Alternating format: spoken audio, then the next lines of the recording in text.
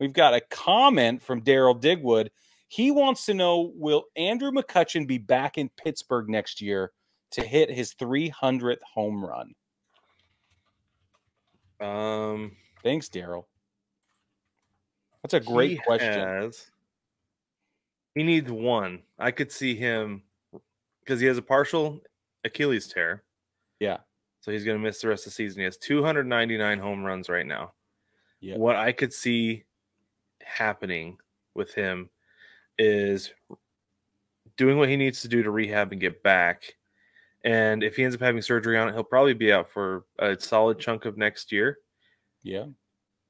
So maybe so if he comes back, let's say in like June or July because of this this Achilles tear, I could see him hitting one and then just riding out the rest of the season with the Pirates, however they are.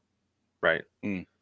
Okay. Um, but if he doesn't need to have surgery, if he can just rehab it and it's good to go by the start of next season, and the Pirates don't look like they're going to be any better than what they are this year, I could see him hitting one and then hanging it up.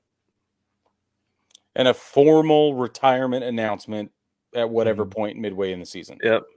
Yep. Yeah. And it's an agreement that he's come to with the Pirates, just saying, I just want to get my one, and then I'm, and then I got to be done. But he has talked about how he's ha- back to having fun this year. Right. So And- I don't know. But he is 37. Like that's which is fine. He's not old. he's 37. No, he's not old. That's not what I'm saying. What what I'm saying is that's perfect for him to be in a full-time DH role It would And- be yeah.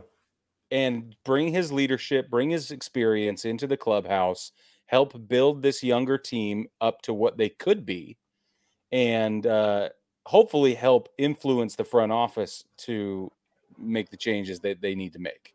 That we got a glimpse of it early in the season. It's not that far fetched. Right. Yeah. It could just be a couple guys away.